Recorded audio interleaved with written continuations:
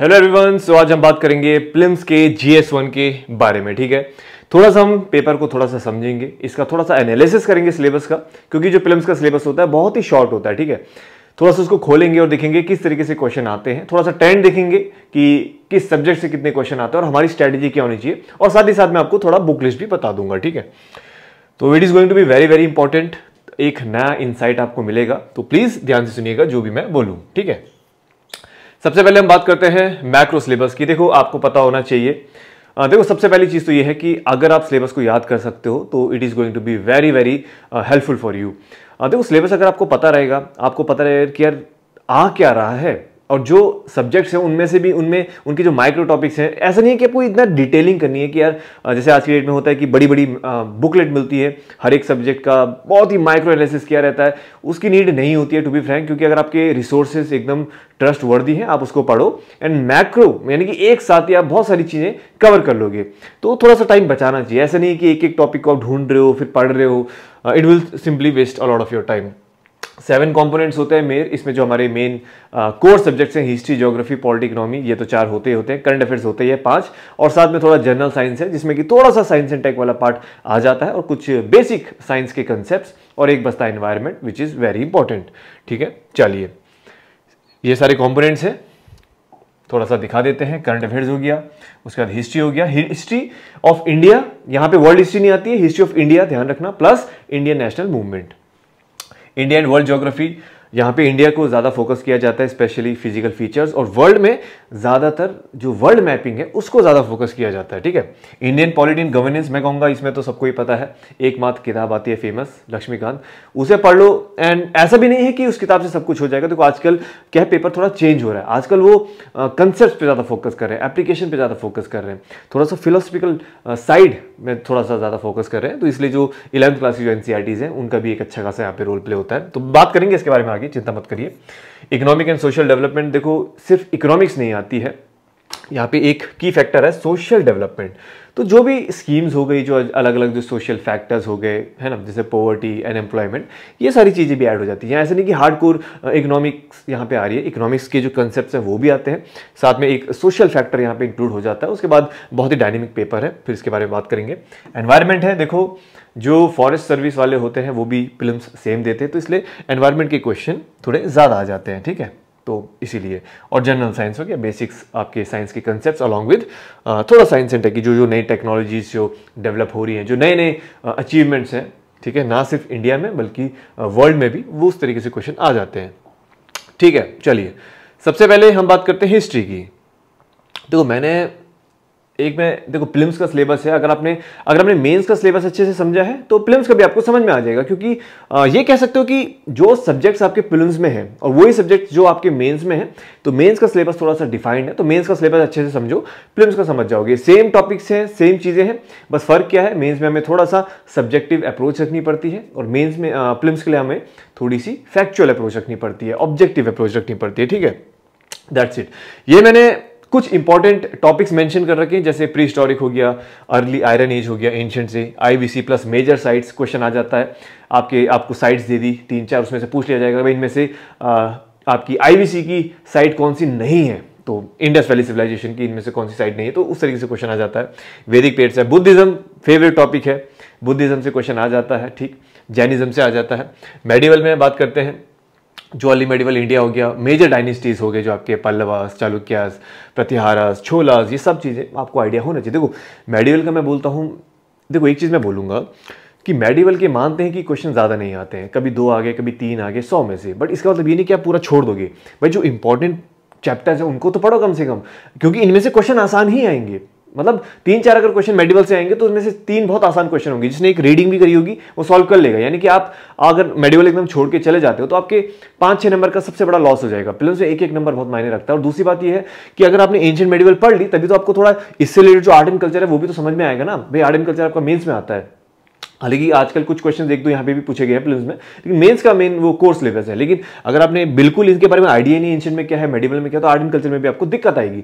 तो ये सारी चीज़ें इंटरकनेक्टेड है। यूपीएससी बहुत सोच समझ के उन्होंने चीज़ें रखी हैं, ठीक है? ऐसा नहीं है कि एक स्ट्रिक्ट सेपरेशन नहीं है कि एंशियन मेडिवल ठीक प्लिम्स में है, और आपको अगर मेन्स की तैयारी करनी है तो उसके लिए ठीक आर्ट एंड कल्चर कनेक्टेड है। अगर एंशियन में किसी ने कमांड अच्छी कर रखी है मेडिवल में कमांड अच्छी कर रखी है तो उसको आर्ट एंड कल्चर में उतना हेल्प होगा। समझ रहे हैं? थर्टीन एंड फिफ्टीन सेंचुरी हो गया ठीक है? दिल्ली सल्तनत इंपॉर्टेंट है, खलजी, स्लेव, जो अलग अलग जो यू नो डायनेस्टीज है this is very important Vijayanagar empire बहुत इंपॉर्टेंट है, हर साल क्वेश्चन आता है, आप उठा के देख लो, ठीक है? अगर हम मॉडर्न की बात करते हैं advent of European in India ठीक है? अलग अलग जो पोर्चुगीज़ आए थे फ्रेंच हो गए, इनके बारे में पता होना चाहिए कब आए थे। पहले उन्होंने अपनी इंडस्ट्री कहाँ पे इस्टेब्लिश करी थी? जो फॉरेन जो ट्रैवलर्स होते हैं, कौन थे? मुगल टाइम पे कौन से आए थे? और किसने कौन सी चीज़ ऑब्ज़र्व करी थी? किसकी कौन सी किताब थी? इस तरीके से क्वेश्चन आ जाते हैं, ठीक है? ब्रिटिश एक्सपेंशन हो गया कानेटिक वॉर्स हो गया इकोनॉमिक इम्पैक्ट ठीक है? उनकी क्या क्या पॉलिसीज़ थी? उनकी पॉलिसीज़ ने जो हमारा जो कह सकते हैं, जो इवेंट्स हैं ठीक? यानी कि हमारी जो हैंडी क्राफ्ट हो गया, उसको कैसे डिस्ट्रॉय किया? फिर इंडिगो कल्टीवेशन हो गया। तो कैसे जो लैंड है, ठीक? और जो कैसे रेवेन्यू सिस्टम था उनका? तो उसने कैसे जो इंडिया के जो लोग थे, उनको इम्पैक्ट कैसे किया? कौन कौन सी पॉलिसीज़ के थ्रू तो ये सब पता होना चाहिए, ठीक है? 1857 से पहले और 1857 के बाद में क्या चेंजेस आए थे, ठीक है? फिर रिवोल्ट हुआ था 1857 का। और भी जैसे कुछ पॉइंट्स जैसे जैनिज्म हो गया, ठीक है ना? हर्षवर्धन पीरियड हो गया महाजनपदास उपनिषद से आ जाते हैं क्वेश्चन मौर्यन एम्पायर हो गया Sangam period Ashoka very important Ashokan period हो गया Ashokan inscription very very important ठीक क्वेश्चन ज़्यादातर आ जाते हैं, ठीक है? और डिफरेंट रिलीजन्स यहाँ पे अगर हम बात करते हैं मेडिवल में तो आपका जो मुगल एम्पायर है मुगल जो फ़ेज़ है, बहुत इंपॉर्टेंट है स्पेशली फ़र्स्ट हाफ़ आपका यू नो अकबर का पीरियड हो गया, औरंगज़ेब का, ये बहुत बहुत इंपॉर्टेंट है. और जैसे इसमें ये भी आता है कि हमें किन के टाइम पे जो पेंटिंग है, वो फ्लरिश हुई थी. तो इस तरीके से दे कैन आस्क एनीथिंग ठीक? की पॉइंट्स पूछ लेते हैं। तानसेन से रिलेटेड क्वेश्चन आ जाता है ठीक है? जो अलग, जो आपके कोड में है तो उनसे रिलेटेड क्वेश्चन पूछ लिया जाता है, ठीक? जैसे आया था, एक क्वेश्चन आया था कि जो जागीरदार है, कौन होते हैं, ठीक? जागीरदार हो गए ज़मींदार हो गए, इनमें डिफरेंस क्या है? तो इस तरीके से क्वेश्चन आ जाते हैं। मराठास हो गए अदर इंडियन स्टेट्स हो गई। लेटर मुगल है, उनका डिक्लाइन कैसे डिक्लाइन हुआ था, क्या फैक्टर्स थे? तो कुछ ये थोड़ी चीज़ें। और प्लिम्स में आपको चीज़ क्या फोकस याद रखना है? प्लिम्स में you need to keep in mind कि वट वर द फैक्टर्स वो फैक्चुअल चीज़ें क्या थी? ईयर वेरी वेरी इंपॉर्टेंट भाई कौन सा पर्टिकुलर ईयर था? किस ईयर पे आ, कौन सी ऑर्गेनाइजेशन फॉर्म हुई थी? इस ऑर्गेनाइजेशन के प्रेसिडेंट कौन से थे? ये पर्टिकुलर किताब ये किसने लिखी थी? ये बायोग्राफी है किसने लिखी थी? ये स्टेटमेंट किसने अपनी किताब में मेंशन किया था? समझ रहे हैं? जैसे होम रूल आपका मूवमेंट हो गया होम रूल लीग हो गया। तो कौन थे इसके प्रेसिडेंट किसने स्टैब्लिश किया था? भाई, आपका लाहौर सेशन कहाँ पे हुआ था, ठीक? आपका लखनऊ पैक्ट कब हुआ था? एक्सट्रीमिस्ट और मॉडरेट्स कब साथ में आए थे और कब अलग हुए थे? कैसे हुए थे? ये फैक्चुअल चीज़ें आपको पता होनी चाहिए, ठीक है? This is very very important जैसे आपका नॉ, ये आपका राउंड टेबल कॉन्फ्रेंस है। गांधी जी ने किस वाले में पार्टिसिपेट किया था, ठीक है? ये सारी चीज़ें होगी। क्रोनोलॉजी हो गई आपकी। कि कौन सा इवेंट पहले हुआ था कौन सा बाद में हुआ था। कई बार तो आ, कुछ इवेंट्स ऐसे जो एक ही साल में हुए थे तो वहाँ पे आपको डेट और मंथ याद रखने की ज़रूरत है ठीक है? जैसे peace and tribal other movements हो गए इंटरनेशनल मूवमेंट अलग अलग फेजेस में हुआ था। तो तीनों फेजेस आपको पता होने चाहिए ठीक? उनका इंपॉर्टेंस तो ये सारी चीज़ें हो गई। तो आपका हिस्ट्री है ठीक? अगर मैं हिस्ट्री की बात करता हूँ इसको कैसे कवर करना है? अगर मैं आ, बुक की बात करता हूँ मैं सच बता रहा हूँ एंशंट प्लस मेडिवल आपकी जो ओल्ड एनसीईआरटी है मोर देन सफिशियंट है। बस। आपको कहीं और जाने की ज़रूरत ही नहीं है। ओल्ड एनसीईआरटी एक एक किताब, खत्म बात। मॉडर्न की मैं बात करता हूँ, देखो मॉडर्न के लिए वैसे तो आपकी जो बिपिन चंद्र है ओल्ड एनसीईआरटी तो वैसे तो इससे काम चल जाएगा। लेकिन मॉडर्न मेज में भी आता है और थोड़ा सा अंडरस्टैंडिंग अपनी वाइड करनी है हमको तो इसलिए स्पेक्ट्रम ऐड कर देनी चाहिए यहाँ पे। और अगर आपने ओल्ड यू नो एनसीआरटी अच्छे से पढ़ लिया तो स्पेक्ट्रम आपको पढ़ने में ज़्यादा दिक्कत भी नहीं आएगी। और स्पेक्ट्रम के हर चैप्टर के बाद एक समरी तरीके से गिवन रहता है चैप्टर का समरी दिया रहता है तो उससे आपका रिविजन भी हो जाएगा। तो इतना ही मोर देन सफिशियंट है एप्लम्स के परस्पेक्टिव से द बुक लिस्ट बस तीन किताबें, चार किताबें दैट्स इट उसके बाद तो देखो, होता क्या है ना, अब एस्पेरेंट्स ये चीज़ में कंफ्यूज होते हैं कि यार, ये सारा पढ़ लिया तो सारा सिलेबस कवर हो जाएगा। पहली बात तो ये है कि सिलेबस इतना वाइड होता है, इतनी सारी चीज़ें होती है कि हंड्रेड परसेंट तो कोई कवर नहीं कर सकता। इतना आप कवर कर लोगे कि अगर बाकी जो एस्पेरेंट्स हैं, उनसे आप ज़्यादा स्कोर कर सकते हो। और अगर आपने प्रैक्टिस अच्छे से करी, क्योंकि देखो प्रैक्टिस भी करनी होती है। बहुत से, इन्हीं में से ऐसे वो कंसेप्ट बना देंगे आपको, इन्हीं में से ऐसे क्वेश्चन बना देंगे जो शायद आप आंसर ना कर पाओ। तो उसको समझने के लिए, उसको टैकल करने के लिए प्रैक्टिस करनी पड़ती है। दैट्स इट फिर प्रैक्टिस का काम आएगा वहाँ पे। ज्योग्राफी की हम बात करते हैं। ज्योग्राफी में आप, एक आपका इंडियन ज्योग्राफी हो गया। इंडियन ज्योग्राफी में लोकेशन हो गया। पता होना चाहिए। कि भाई जो ट्रॉपिक ऑफ़ कैंसर है, कहाँ से पास होता है, ठीक है? स्टैंडर्ड मरीडियन कहाँ से पास होता है? ये आपको अच्छे से पता होना चाहिए लैटीट्यूड्स क्या है लॉन्गिट्यूड क्या है? फ़िज़िकल फीचर्स हिमालय ठीक है? हिमालय के बारे में आपको पता होना चाहिए, भाई किन स्टेट से पास होता है ट्रांस हिमालय क्या होता है, ठीक है? Outer Himalaya inner Himalaya north eastern hills क्या होता है? पता होना चाहिए। प्लेन्स हो गया प्लेटी हो गया रिवर सिस्टम हो गया, जो हमारे तीन मेजर रिवर सिस्टम हो गए इंडस आपका ब्रह्मपुत्र और गंगा पता होना चाहिए इनकी ट्रिब्यूटरीज कौन सी है? ईस्ट फ्लोइंग रिवर कौन सी है? वेस्ट फ्लोइंग रिवर कौन सी है? ये चीज़ें पता होनी चाहिए। क्लाइमेट के बारे में आपको पता होना चाहिए कि साउथ जो जो साउथ ईस्ट मानसून है, वो कैसे एंटर करता है, कैसे एग्जिट करता है, ठीक है? अलग अलग जो फीचर्स होते हैं। क्लाइमेट फीचर्स वो आपको पता होनी चाहिए। मिनरल्स के बारे में पता होना चाहिए कि भाई कौन सा स्टेट है, कहाँ पे, कौन सा मिनरल ज़्यादा पाया जाता है। ठीक है? इस तरीके से चीज़ें इंडस्ट्रीज़ हो गई एग्रीकल्चर एंड अलाइड एक्टिविटीज़ हो गई फिशरी हो गई, ये सारी चीज़ें। नेचुरल वेजिटेशन हो गया, जो अलग अलग जो आपके यू नो कवर्ड फॉरेस्ट जो जैसे कि मान लीजिए, मान लेते हैं जैसे ट्रॉपिकल एवरग्रीन हो गया डेसिडुअस हो गया ड्राई डेसिडुअस क्या होता है, ये थोड़ा सा आपको आइडिया होना चाहिए। सॉइल के बारे में पता होना चाहिए। अलग अलग सॉइल्स हैं ब्लैक सॉइल है ब्लैक क्यों होती है, उसका फॉर्मेशन कैसे होता है, कौन सा क्रॉप उसमें अच्छे से यू नो ग्रो हो सकता है रेड सॉइल हो गया लेट रेड सॉइल हो गया लोमी सैंडी ये सब चीज़ें, ठीक? इंडस्ट्री ट्रांसपोर्ट एनर्जी पॉपुलेशन इस तरीके से आपको थोड़ा चीज़ों को पढ़ना है। मैं इसलिए कहता हूँ सिलेबस बहुत वाइड है, ठीक? मतलब ऐसा नहीं है सिलेबस की यूपीएससी कुछ भी पूछ लेगा। बट द थिंग इज़ कि देर आर सर्टेन ट्रिक्स और वो ट्रिक वही होता है प्रीवियस ईयर क्वेश्चन मैं, अभी आगे बताऊँगा। वरना इतनी बड़ी चीज़ है, आपको कैसे पता कि किस चीज़ पे आपको ज़्यादा फोकस करना है? भाई, सारा ही इंपॉर्टेंट है, इनको पढ़ने बैठोगे टाइम लगेगा और पढ़ना भी है ऑब्वियसली बट इसके कुछ ट्रिक्स होते हैं जो मैं आने वाले स्लाइड्स में आपको बताऊँगा। ठीक है, जैसे हम वर्ल्ड जोग्राफी की बात करते हैं यूनिवर्स हो गया अर्थ का इंटीरियर हो गया क्रस्ट हो गया, कितनी उसकी लेंथ होती है, ठीक है? कितनी डेप्थ है उसकी? लैटिट्यूड लॉन्गिट्यूड इक्वेटर इक्वेटर किन कंट्री से पास होता है? लेटीट्यूड कहाँ से पास होता है? लॉन्गिट्यूड किन कंट्री से पास होता है? ठीक है sorry not latitude longitude tropic of cancer tropic of capricorn कहाँ से पास होता है? इस तरीके से क्वेश्चन यूपीएस ने पूछे हैं। मैपिंग के बेस्ड क्वेश्चन हो गए जैसे, ठीक है जियोमोफोलॉजी हो गया, ठीक है। क्लाइमेटोलॉजी हो गया हाइड्रोस्फीयर ये सब चीज़ें हो गई, ठीक? मैपिंग के बारे में जिसमें आपको एक आइडिया दूँगा।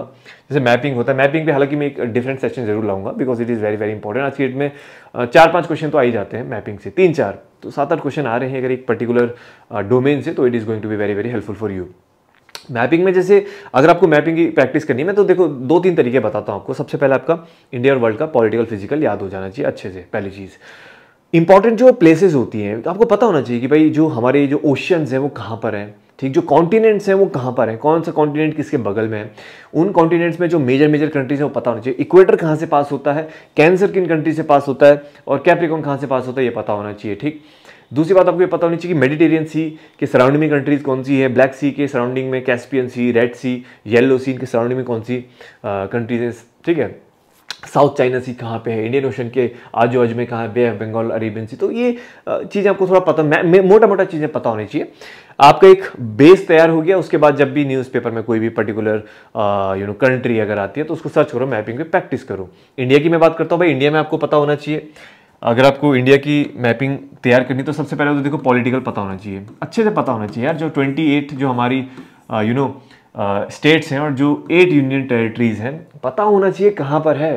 ठीक है? कौन किससे सट सट सट रखा है बेसिकली दूसरी बात हो गई कि अगर फ़िज़िकल की मैं बात करता हूँ फ़िज़िकल में आपको पहले तो ये पता होना चाहिए इंडियन रिवर सिस्टम अच्छे से पता होना चाहिए कि इंडस कहाँ से ओरिजिनेट होती है, कहाँ पे वो ड्रेन होती है कौन कौन सी ट्रिब्यूटरीज उससे जुड़ती हैं। सेम अगर मैं आपकी गंगा की बात करूँ ब्रह्मपुत्र तो पता होना चाहिए कि ट्रिब्यूटरीज कौन है, ईस्ट विंग रिवर्स कौन सी होगी, वेस्ट विंग कौन कौन सी है, वो आपको पता होना चाहिए। अपार्ट फ्रॉम देन आपको जो हिमालय के बारे में पूरा पता होना चाहिए, ठीक? कहाँ से कहाँ तक वो स्ट्रेच है। फिर नॉर्थ ईस्टर्न हिल्स के बारे में पता होना चाहिए। इंडो गैंगेटिक प्लेन के बारे में पता होना चाहिए कि कहाँ से, कहाँ कहाँ ये इंडो गैंगेटिक रीजन कौन सा है, ठीक? कौन कौन सी उसमें रिवर्स मेजर आती हैं? ये सारी चीज़ें आपको पता होनी चाहिए, ठीक है? तो इस इस वे में आपका मैपिंग काफ़ी अच्छा खासा प्रिपेयर हो जाएगा। The only thing is you have to work hard देना टफ थोड़ी है। मेहनत लगती है इन चीज़ों के लिए। जो चीज़ें मैंने आपको बताई हैं, इतना भी अगर आप प्रिपेयर कर दो तो आपका अच्छा खासा चांस हो जाएगा to score very well but the thing is nobody does ठीक? चलिए। हाँ इसकी बुकलिस्ट की मैं बात करता हूँ। फ़िल्म परस्पेक्टिव से मैं अगर बोलूँ ना तो एटलेस और सिक्स टू ट्वेल्व अगर कोई एटलेस और सिक्स टू ट्वेल्व भी अच्छे से पढ़ ले, यानी मैपिंग और सिक्स टू ट्वेल्व उसके फिल्म्स के लिए मोर देन सफिशियंट है। You D not to refer to any such you know high standard books कोई फ़ायदा नहीं है। जोग्राफी के लिए फ़िल्म परस्पेक्टिव से this is more than sufficient अब बाकी वो ट्रस्ट करते नहीं है। एस्पेंट्स तो उसमें हम क्या करें, बताइए। इंडियन पॉलिटी एंड गवर्नेंस मैं कहूँगा कि लेस कॉम्प्लिकेटेड सब्जेक्ट है। आज की डेट में बच्चा बच्चा जानता है कि इसको कैसे प्रिपेयर करना है, ठीक? लेकिन जो हमारा सिलेबस होता है, वो बहुत ही डिफाइंड है। एक लाइन का फ़िल्म का सिलेबस एक लाइन का तो उसमें क्या क्या चीज़ें हो सकती हैं? फ़िल्म प्रियम्बल है वेरी वेरी इंपॉर्टेंट ठीक? एवोल्यूशन ऑफ़ द कॉन्स्टिट्यूशन जो अलग अलग जो एक्ट्स हो गए, वो सारे पढ़ने पड़ते हैं। पिट्स एक्ट हो गया चार्टर एक्ट हो गया रेगुलेटिंग एक्ट हो गया। गवर्नमेंट ऑफ़ इंडिया एक्ट हो गया, ठीक है, इंडिपेंडेंस एक्ट हो गया सारे एक्ट पढ़ने आपको। शेड्यूल्स ज़्यादातर क्वेश्चन आ जाता है वन टू ट्वेल्व शेड्यूल्स है, कि कोई एक आपको स्टेटमेंट दे दी जाएगी, बोल लिया जाएगा, या किस शेड्यूल में आता है, इस तरीके से क्वेश्चन आ जाएगा। कॉन्स्टिट्यूशन ऑफ़ इंडिया हो गया बेसिक आइडिया बैकग्राउंड फिलोसफी हमारी साइलेंट फीचर्स हो गए बोरोड फीचर्स ये सारी चीज़ें। Citizenship fundamental right very important और डीपीएसपी मोस्ट इंपॉर्टेंट क्वेश्चन आते ही आते हैं। जुडिशरी एग्जीक्यूटिव लेजिस्लेचर जुडिशरी से क्वेश्चंस अक्सर आते हैं एग्जीक्यूटिव लेजिस्लेचर ये ये तो की पिलर्स हैं तो इनसे क्वेश्चंस बनने ज़ाहिर है। Union state government union territory union territory से आ जाता है भाई आर्टिकल कौन सा एसोसिएटेड है? एमरजेंसी से रिलेटेड आ जाता है कि भाई एमरजेंसी के टाइम पे कौन से आपकी जो फंडामेंटल राइट्स हैं जो इंटैक्ट रहेंगे तो you should know that centre state relation हो गया, ठीक? इनके बीच में जो डिस्प्यूट होता है, वो कैसे रिजॉल्व हो सकता है, ठीक? वाटर डिस्प्यूट है, वो किस आर्टिकल में मैंशनड है? ये सारी चीज़ें। पंचायती राज हो गया म्यूनिसिपल कॉरपोरेशन हो गया constitutional bodies non constitutional bodies जो uh, कोई पर्टिकुलर कॉन्स्टिट्यूशनल बॉडी आपकी न्यूज़ में यू नो दिख रही है तो समझ लो कि एग्ज़ाम में आने के उसके चांसेस हैं। पूछ लिया जाएगा कि आपको तीन चार बॉडी दे दी जाएँगी पूछ जाएगा इनमें से कौन सी कॉन्स्टिट्यूशनल है या फिर कौन सी नॉन कॉन्स्टिट्यूशनल है। पता होना चाहिए कॉन्स्टिट्यूशनल क्या होता है नॉन कॉन्स्टिट्यूशनल क्या होता है स्टैट्यूटरी क्या होता है ठीक ये सारी चीज़ें। ट्राइब्यूनल के बारे में हो गया एनजीटी हो गया ठीक? एस सी जो बाकी जो स्कीम्स हैं प्रोविज़न हैं क्या मैंशन है हमारे कॉन्स्टिट्यूशन में? एंड करंट अफेयर बहुत ही डायनेमिक सब्जेक्ट है तो करंट अफेयर रिलेटेड तो ये सारी चीज़ें मैं कहूँ तो आपकी एकमात्र किताब है ठीक? अगर मैं आ, बात करूँ कि इसको कैसे प्रिपेयर करना है देखो सबको पता है लक्ष्मीकांत ठीक है? ये तो ठीक है। लक्ष्मीकांत किताब है इसके लिए सोर्स लेकिन मैं ये बोलता हूँ कि इलेवेंथ क्लास की दो किताबें होती हैं एक तो पॉलिटिकल थ्योरी बहुत ही बहुत इनका इसका रेलेवेंस बहुत बढ़ रहा है आज की डेट में। पॉजिटिव लिबर्टी नेगेटिव लिबर्टी है ना, जो हार्म प्रिंसिपल है, ठीक है? तो इस तरीके से क्वेश्चंस काफ़ी आए हैं जैसे मार्क्सिज्म हो गया लिबरलिज्म हो गया पैसिफिज्म हो गया, ये कुछ कंसेप्ट हैं जो आजकल थोड़ी एग्ज़ाम में देखे जा रहे हैं। दूसरी के बाद किताब है इंडियन कॉन्स्टिट्यूशन एट वर्क दोनों इलेवंथ क्लास की are the most important NCERTs उनको अच्छे से पढ़ लो, फिर लक्ष्मीकांत पढ़ो। आपका जो स्टैटिक पोर्शन है वो कवर हो जाएगा, उसके बाद भैया आपकी मेहनत, कितनी प्रैक्टिस करते हो और कितना अप टू डेट रहते हो, ठीक है? ऐसा नहीं है यार कि देखो एक चीज़ मैं बताता हूँ, ऐसा नहीं है कि आपने ये ये ये ये ये सारी स्टैंडर्ड या फिर स्टैटिक किताब पढ़ ली और प्लेन्स निकल जाएगा। नहीं। यूपीएससी इस वे में एग्ज़ाम को फॉर्म करता है, इस वे में क्वेश्चन को बनाता है कि कोई इंसान जो रट के एग्ज़ाम देने जा रहा है, उसका सिलेक्शन ना हो। साफ़ सीधी सी बात। UPSC wants you to be aware वो देखना चाहता है सामने वाले, वो ये नहीं यूपीएससी डजेंट एक्सपेक्ट वो ये नहीं चाहते कि कोई ऐसा स्टूडेंट्स आए जिसने दस पंद्रह किताब बिल्कुल पढ़ के, बिल्कुल रट के आ रखा है। उन्हें चाहिए सामने एक ऑफिसर होना चाहिए हमारे, ठीक है ना? जो चीज़ों को समझ रहा है, जो सोसाइटी में चीज़ें चल रही है, जो मुद्दे उठ रहे हैं, क्यों उठ रहे हैं? उनको कैसे टैकल किया जा सकता है? What is the importance they don't want robot they want a human ठीक है? तो इस चीज़ को ज़रा ध्यान रखना। तो अगर लक्ष्मीकांत को रटे थे और बोले कि भैया हो गया सारा काम and I am going to clear the films it's not gonna happen ठीक? चलिए। नेक्स्ट हम बात करते हैं economic and social development again I will tell यहाँ पर इट्स नॉट इकोनॉमिक्स यहाँ पे प्योर इकोनॉमिक्स नहीं है कि भाई सिर्फ़ जीडीपी पूछेंगे पर कैपिटल इनकम पूछ लेंगे एफ़ पी ये सब नहीं। ये तो पूछेंगे इकोनॉमिक के कंसेप्ट पूछेंगे but apart from that social development ठीक? जैसे कि, ठीक है इकोनॉमिक कंसेप्ट हो गए अलग अलग जो सेक्टर्स हो गए प्राइमरी सेकेंडरी टर्शरी कुछ कंसेप्ट ऐसे हो गए, ठीक है इन्फ्लेशन हो गया, ठीक depreciation appreciation GDP GNP Lorenz का फिलिप्स का ये तरीके की चीज़ें हो गई। इकोनॉमिक ग्रोथ एंड डेवलपमेंट उसके मेज़रमेंट ठीक है। फाइनेंशियल मार्केट एंड उसके इंस्ट्रूमेंट्स हो गए, ठीक। बजट हो गया फ़िज़िकल पॉलिसी मॉनिटरी पॉलिसी ठीक। मॉनिटरी पॉलिसी कमिटी से रिलेटेड हो गया मनी मल्टीप्लायर चलो, ये तो कंसेप्चुअल बेस आ गया। अब थोड़ा सा ऑब्वियसली बैंकिंग स्ट्रक्चर के बारे में भी होगा, ठीक। टैक्स स्ट्रक्चर क्या है? And the important thing is economic planning ठीक। जैसे मैं बात कर रहा था पोवर्टी सोशल डेवलपमेंट में आपका पोवर्टी हो गया। If you can see poverty हो गया एम्प्लॉयमेंट हो गया गवर्नमेंट स्कीम्स हो गई, ठीक? प्लानिंग ओपन इकोनॉमी आपका जो वर्ल्ड से रिलेटेड हो गया sustainable development goal millennium development goal हो गए कार्बन टैक्स क्या होता है ग्रीन अकाउंटिंग ट्रेड कंसेप्ट हो गए, कुछ आपके ट्रेड कंसेप्ट जैसे वो, इसमें आपका एफपीआई आ गया एफडीआई आ गया, ठीक? ट्रेड बैरियर्स हो गए। तो ये बेसिकली काफ़ी मिक्सअप है। यानी कि इसमें एक तो इकोनॉमी के हार्ड कंसेप्ट भी आएँगे। इकोनॉमी का बैकग्राउंड यानी इलेवंथ क्लास में जो इलेवंथ इंडियन इकोनॉमिक डेवलपमेंट आपने पढ़ी होगी, उसका जो बैकग्राउंड है, वो भी पूछा जाएगा। साथ ही साथ सोशल डेवलपमेंट वाला कंसेप्ट यहाँ पे ऐड हो जाता है। And apart from that budget economic survey है, जो प्रेजेंट सीनेरियो है। And apart from that one more thing comes and that is your schemes government schemes ठीक है? इसको कवर करने का तरीका क्या? बहुत कॉम्प्लिकेटेड है टू बी फ्रैंक आसान करता हूँ सबसे पहले current affairs monthly magazine plus budget plus economic survey plus Yojana plus Kurukshetra और न्यूज़पेपर ये तो हो गया जिससे कि आपका करंट पोर्शन अच्छे से कवर हो जाएगा। स्टैटिकली मैं बोलता हूँ कुछ नहीं। स्टैटिकली दो चीज़ें। इलेवंथ क्लास की हो गई इंडियन इकोनॉमिक डेवलपमेंट एंड साथ ही साथ एक किताब कोई भी स्टैंडर्ड बुक फॉलो कर लो, चाहे आप संजीव वर्मा सर की फॉलो करो, रमेश सिंह अगर फॉलो करते हो तो उसमें सिलेबस रेलिवेंट पढ़ना, जो अननेसेसरी चैप्टर्स है no need to read that और कुछ जो चैप्टर्स जो एग्ज़ाम में जिनका इंपॉर्टेंस नहीं है तो उसको स्किप कर सकते हो। ठीक? उसके बाद श्रीराम सर की भी फॉलो कर सकते हो, वो भी अच्छी किताब है। ठीक है? मुनाल सर की भी फॉलो कर सकते हो, वो भी काफ़ी अच्छा कंटेंट प्रोवाइड करते हैं। तो इसमें आपकी चॉइस है। जिसमें आप कंफर्टेबल हो just read that but make sure you have limited time तो do not invest a lot of time but important subject है, इसमें ज़्यादा टाइम देना माँगता है। ठीक है? चलिए। इसके बाद हम बात करते हैं एनवायरमेंट की। देखिए एनवायरमेंट में एनवायरमेंट में एक चीज़ आपको अपने दिमाग में ये बैठानी है एनवायरमेंट क्यों इंपॉर्टेंट है? ऑब्वियसली भाई आज की सराउंडिंग में सबसे ज़्यादा इंपॉर्टेंट क्या जो चीज़ मैटर करती है वो एनवायरमेंट अगर इन्वायरमेंट सेफ़ नहीं है तो हम सेफ़ नहीं है, पहली चीज़। और दूसरी बात है, ये पेपर इंडियन फॉरेस्ट सर्विस वाले भी देते हैं। भाई, जो फॉरेस्ट की तैयारी कर रहा है, जो फॉरेस्ट सर्विस का एग्ज़ाम दे रहा है तो उसके लिए इन्वायरमेंट के क्वेश्चन तो होंगे ना, इसलिए इन्वायरमेंट से ज़्यादा क्वेश्चन आ जाते हैं। अब कैसे क्वेश्चन आते हैं? बेसिक क्वेश्चन आ गया इन्वायरमेंट के। Biodiversity animal and plant biodiversity हो गया, ठीक है? एस्टोरीज हो गया mangrove coral reef wetlands important topics question हमेशा आता है इनसे। कंसेप्ट ऑफ़ इकोलॉजी पॉपुलेशन हो गया, ठीक है? Terrestrial aquatic ecosystem nutrient cycle carbon cycle phosphorus cycle sulphur cycle एक क्वेश्चन हर साल आता ही आता है। Land forest soil energy resources ठीक है। रिन्यूएबल क्या होती है? नॉन रिन्यूएबल कौन सी होती है? कन्वेंशनल नॉन कन्वेंशनल इंडिया का क्या टारगेट इस तरीके से चीज़ें? पॉल्यूशन रिलेटेड आता है। What are the factor causes consequences और क्या नई स्कीम्स लॉन्च हो रही है? इनको कैसे टैकल किया जा रहा है इंटरनेशनल और इंडिया के लेवल पे? Climate change very very important concept उभर के आ रहा है आज की डेट में। लॉज और चेंजेस ना सिर्फ़ जो इंडिया में बन रहे हैं बट इंटरनेशनल लेवल पे कौन कौन सी अलग समिट्स हो गई, ठीक है? अर्थ समिट हो गया, ये तरह की चीज़ें। ठीक है? एंड उसके बाद रिसेंट डेवलपमेंट्स तो ठीक है यू शुड बी मतलब कहने का मतलब है ये बहुत डायनेमिक है।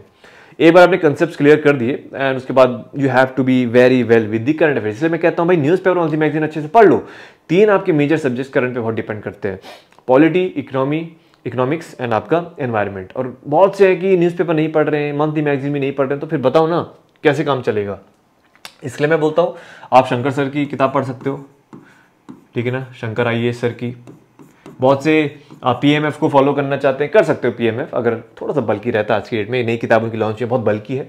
योर चॉइस कर सकते हो तो you can do it and इस किताब से आपके जो मेजर जो कंसेप्ट हैं, वो क्लियर हो जाएँगे and apart from that it just your current that's it ठीक है, चलिए। नेक्स्ट हम बात करते हैं आपका general science and science and technology देखो, इसमें जो ट्रेंडिंग जो टॉपिक्स होते हैं, जो बेसिकली आज की में जो डेवलपमेंट जिन फील्ड्स में हो रहे हैं जिनकी ज़्यादा इंपॉर्टेंस है, ठीक है, जैसे स्पेस हो गया, ठीक है आईटी हो गया नैनो टेक्नोलॉजी रोबोटिक्स हो गया बायोटेक्नोलॉजी डिफेंस हो गया न्यूक्लियर टेक्नोलॉजी हो गया, ठीक, इस तरीके से इन पर आपको ज़्यादा फोकस करना है। और जो इंपॉर्टेंट ऑर्गेनाइजेशन हैं, जैसे इसरो हो गया डीआरडी हो गया नासा हो गया स्पेस हो गया, ये क्या क्या नई चीज़ डेवलप कर रहे हैं, ये भी हमको पढ़ना है, ठीक है। अगेन ये भी डायनेमिक है, नहीं you have to be updated with the current affairs ठीक, चलिए। आगे ऑब्वियसली बायोलॉजी में जैसे cells genetics respiratory system nutrition diseases ये सारी चीज़ें अब इसको कैसे कवर करना है? देखो, मैं ये रिकमेंड नहीं करूँगा कि सिक्स टू टेन एनसीआरटी पढ़ो, इतनी बल की किताब हो जाएँगी। नो नीड इसमें अब ज़्यादा से ज़्यादा जो बायोलॉजी है हमारी, ठीक है बायोलॉजी के वो इन्वायरमेंट में हेल्प करता है। हाँ वो इन्वायरमेंट में हेल्प करता है which I forgot to mention environment section में, जो बायोलॉजी है, उसके जो लास्ट चैप्टर है, वो इन्वायरमेंट हेल्प करता है। बट अगर आप चाहो, जो सिक्स टू टेन है एनसीआरटी इसको पढ़ना नहीं, लेकिन एक जस्ट गो थ्रू कर सकते हो। मतलब कि ठीक है, एक दिन उठाया, एक दिन उठाया एंड सिक्स क्लास की बुक एक बार गो थ्रू कर ली। इसमें कुछ जो इंपॉर्टेंट कंसेप्ट हो गए ग्रेविटेशनल फोर्स हो गया, कुछ केमिस्ट्री के कुछ कुछ की एलिमेंट्स हो गए रिएक्शंस हो गए। वो की पॉइंट्स आप अंडरलाइन करके उसके नोट बना सकते हो, एक दिन में काम कर सकते हो, अगर चाहो तो। दैट्स इट उससे ज़्यादा उसमें टाइम नहीं देना है। क्योंकि इसके बाद फिर आपका जो भी है, सारा करंट ही होता है। करंट अफेयर दैट्स इट क्योंकि जो करंट अफेयर मैगजीन हो गई, उसमें भी ये कह सकते हैं कि जो ये चीज़ें आती हैं कंसेप्ट आते हैं तो उससे रिलेटेड जो स्टैटिक पोर्शन है, वो भी वहाँ पे कवर्ड रहता है। और यूपीएससी देखो, वही चीज़ें पूछेगी जो करंट में है। उसी का स्टैटिक पूछेगी जो करंट में है। तो इससे थोड़ा मैगजीन्स जो है, वो काफ़ी हेल्पफुल रहती हैं इस सिनेरियो में। ठीक है? अब थोड़ा सा बात करते हैं ट्रेंड की। ट्रेंड क्या होना चाहिए क्वेश्चन का पर सब्जेक्ट मतलब क्या होता है? ठीक है? अगर हम देखें जो हिस्ट्री है, लगभग 14 से 18 के करीब क्वेश्चन देखे गए। कभी 14 15 आते हैं, कभी 18 19 आते हैं। जिसमें से अगर मैं बोलूँ एंशंट के, इसमें तीन पार्ट हो गए एंशंट मेडिवल और मॉडर्न एंशंट के लगभग वही दो से तीन मॉडर्न के दो से तीन, और कम से कम आपके सात, आठ मतलब मेडिवल के दो तीन और मॉडर्न के सात, आठ आ जाते हैं। पॉलिटी के लगभग बारह से अठारह क्वेश्चन आ रहे हैं तो अच्छा खासा वेटेज है पॉलिटी का। इकोनॉमिक्स के काफ़ी ज़्यादा क्वेश्चन आते हैं। और पंद्रह बीस क्वेश्चन इसलिए ही हैं क्योंकि थोड़े इकोनॉमिक के कंसेप्ट आ गए, कुछ स्कीम से रिलेटेड आ गया, ठीक? तो और कुछ आपका सोशल डेवलपमेंट से रिलेटेड आ गया तो इसलिए काफ़ी ज़्यादा इसका वेटेज है। एनवायरमेंट की बात करते हैं, जैसे मैंने कहा था फॉरेस्ट सर्विस वाले भी एग्ज़ाम देते हैं तो इसलिए पंद्रह बीस के करीब रेंज है, ठीक? और इसमें थोड़ा सा, देखो इन्वायरमेंट और जो जोग्राफी है, उसका कम से कम पच्चीस से चालीस percent you know syllabus overlap होता है। तो थोड़ा यहीं पर कन्फ्यूज़न हो जाती है कि यार वो इन्वायरमेंट का है जोग्राफी का है। तो ठीक है, थोड़ा सा मान के चल सकते हैं सिक्सटीन टू ट्वेंटी और जोग्राफी में भी एट टू ट्वेल्व वरना eight to twelve eight to fourteen जिसमें तीन चार मैपिंग के क्वेश्चन हो गए, तीन चार इंडियन फ़िज़िकल फीचर्स हो गए, और तीन चार थोड़े बाकी टॉपिक से रिलेटेड क्वेश्चन आ गए। साइंस में आ गया एट टू ट्वेल्व जिसमें से ज़्यादातर जो क्वेश्चन है सिक्सटी सेवेंटी परसेंट वो डायनेमिक होते हैं, यानी कि आपके करंट बेस्ड होते हैं, ठीक है? और इन्हीं में करंट अफेयर मैंने इंक्लूड कर रखा है, ठीक है? चलिए। तो कहने का मतलब ये है, आपका इकोनॉमिक्स हो गया, आपका पॉलिटी हो गया, ये this two are the game changer for now history में आपका मॉडर्न हो गया, ठीक? एंड बाकी ये जो आपका एनवायरनमेंट है एंड जो आपका साइंस एंड टेक है भाई, ये बहुत ही करंट ओरिएंटेड है।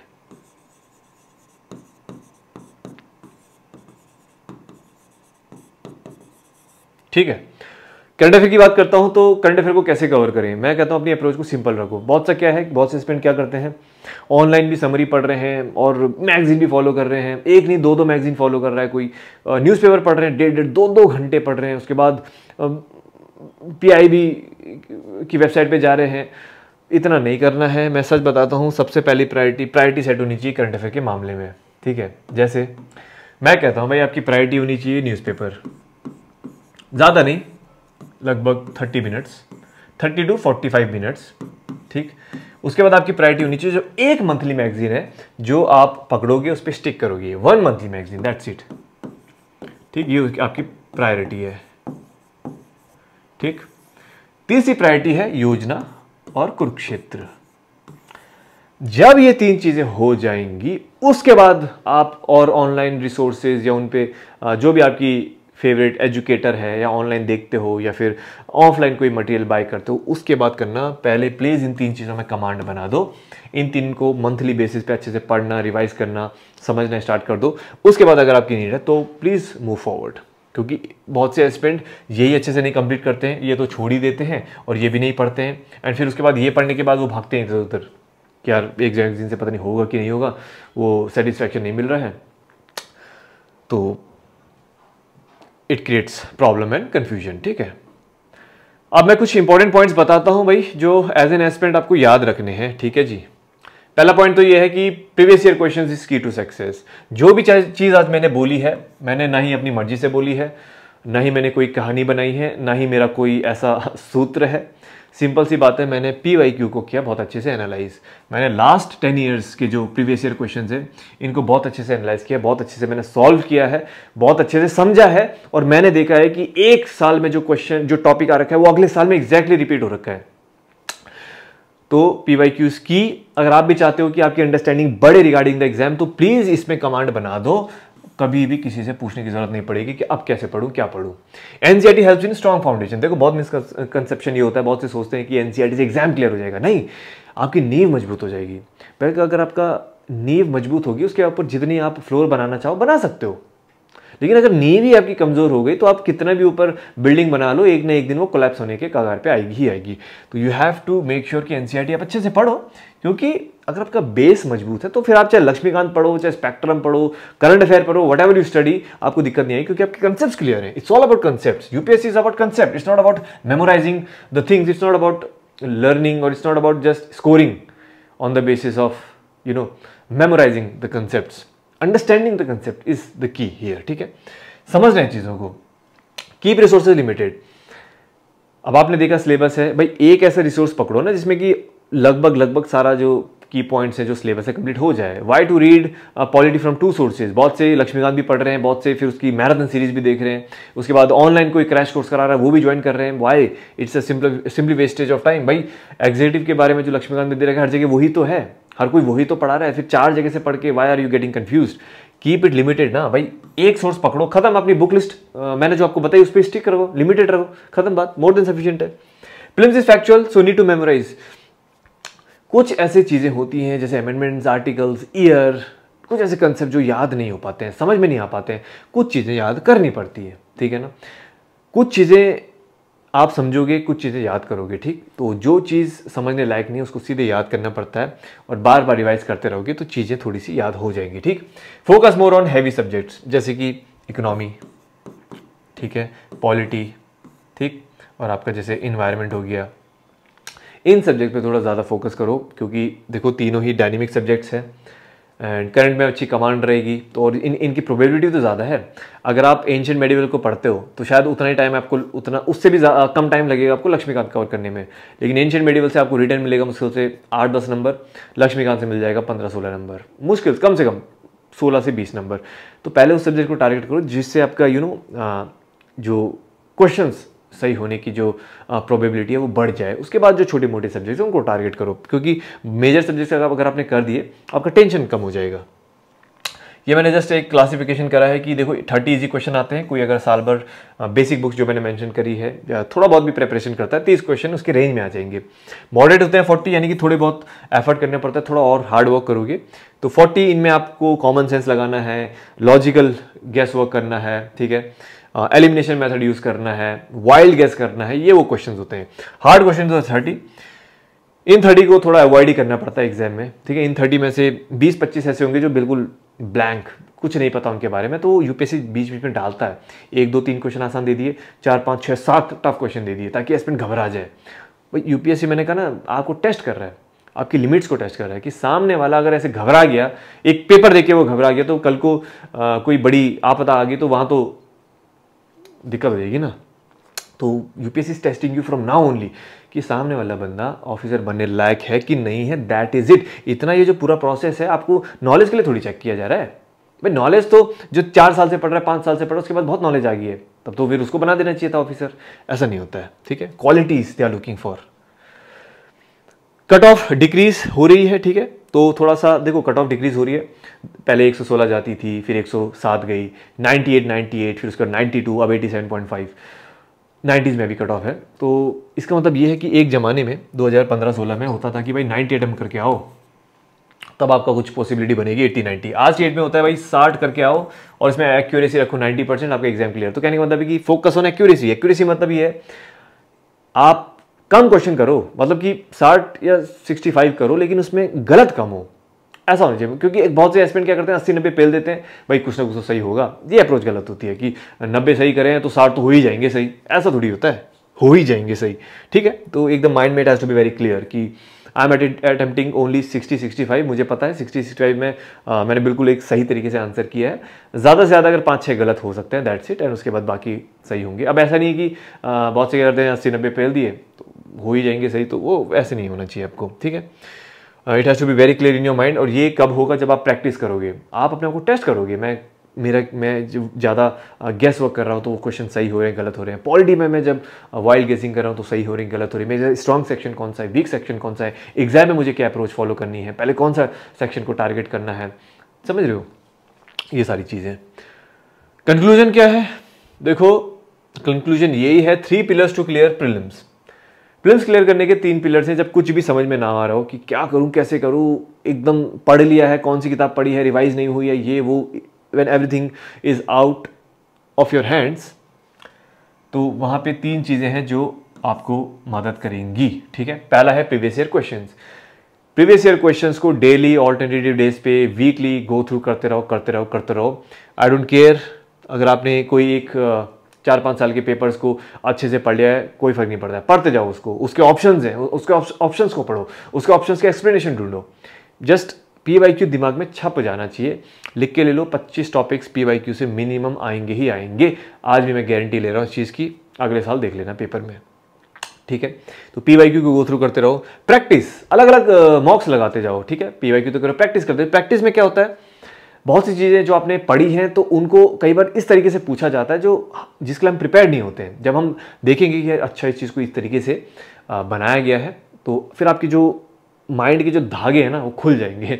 तो फिर आपको थोड़ा सा लगेगा कि यार अच्छा इस तरीके से भी क्वेश्चन पूछा जाता है। तो जब आप पढ़ोगे तो it will be in your mind कि मेरे को इस क्वेश्चन को किस तरीके से टारगेट करना है। और बहुत से क्या होता है, जब हम आंसर ये जो मॉक्स लगाते हैं मॉक्स में क्या होता है कि बहुत से ऐसी कुछ चीज़ें रहेंगी बहुत से ऐसे यू नो क्वेश्चंस पूछे जाएँगे जिनके आंसर हमें नहीं पता है। तो भाई उस बहाने वो क्वेश्चंस के आंसर भी हमें पता चल जाएँगे जब हम उसका बाद में एनालिसिस करेंगे। तो प्रैक्टिस का ही फ़ायदा होता है। दो चीज़ें हो गई।